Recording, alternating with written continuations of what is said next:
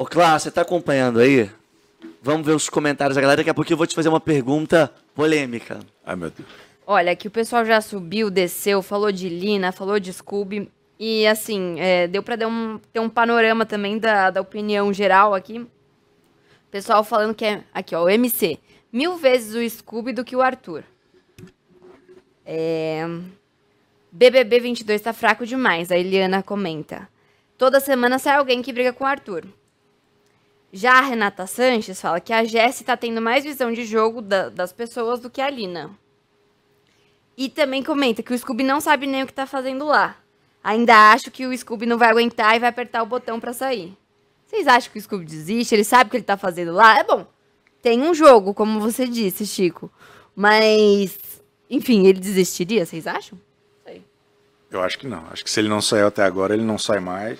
E acho que ele sabe muito bem o que ele está fazendo lá dentro. Acho que ele foi muito bem. é, é, é, muito bem pensado. Acho que nada é por acaso. Acho que ele foi lá para se impor do jeito dele. E tá dando tudo certo. Ele, ele e o Thiago Abravanel, na minha humilde opinião, nunca deveriam ter entrado num reality show. Acho que foi um erro grande de escalação por conta justamente dessa atração que as pessoas têm por eles, de respeitar muito, de ouvir muito, de serem dois caras muito bem sucedidos no que fazem já aqui fora. E aí eu acho que eles entraram com um espírito anti-jogo, anti-treta, anti-confronto, que foi facilmente replicado lá dentro. E o problema todo tá nesses dois. Eu acho que se, Uma erva daninha ali que vai, vai, vai. E de repente foi. Exatamente. E, e falo isso sem, sem. Não é uma crítica necessária a eles, Pessoal, às é pessoas. jogo, é. né? Acho que a escalação errou. Acho que eles não, não deveriam estar lá, assim, por mais divertido que seja o Scooby. Acho que aquele começo dele deixou um baixo astral a casa, de ninguém poder, sabe, se impor de alguma forma, porque ele vinha, ele vinha e ele acabava com a discussão. Do- sabe, é, ele passava o trator em qualquer treta. Falava assim, não, vamos fazer as pazes. Não, vamos fazer isso. Tal. Pô, bizarro. Cara, é, é muito louco isso, é um, é um erro de escalação. Mas no pior. né, Vamos, vamos lá.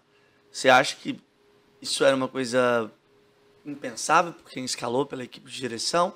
Eles jamais acharam que, sei lá, participantes poderiam conter a, a treta? Ou estava dentro do previsto, eles queriam uma edição mais amena, por isso botaram caras boa praça e, e do bem? Chutômetro, né? Não tem como a gente saber, É. mas o que, que você acha? Tem como, tipo assim, a direção, pela experiência, prever que um participante pode ser capaz disso? Porque eu, eu, eu sigo na sua linha de raciocínio, eu não tinha parado para pensar. Mas será que quem escalou sabe, imaginava? Ah, eu acho que até pelo esforço posterior de tentar colocar o tal do fogo no parquinho, acho que eles não contavam com isso. Mas eu acho que conhecendo meia hora de Thiago Abravanel e meia hora de Pedro Scooby, porra, acho que dava para pelo menos ter ficado preocupado com isso. Talvez com só um seria menos grave. Mas os dois, assim, eles tinham um poder ali de influência muito grande. E pior, eu acho que o Thiago Abravanel ter pedido para sair em vez de ter sido eliminado, deixou essa questão mal resolvida. Porque se ele sai num, num- num paredão, sabe, que tá lá o.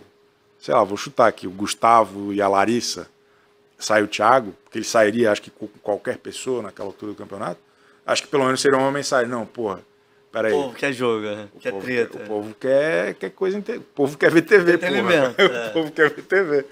Mas, infelizmente, ele pediu pra sair, porque acho que teria sido importante ele ter sido eliminado.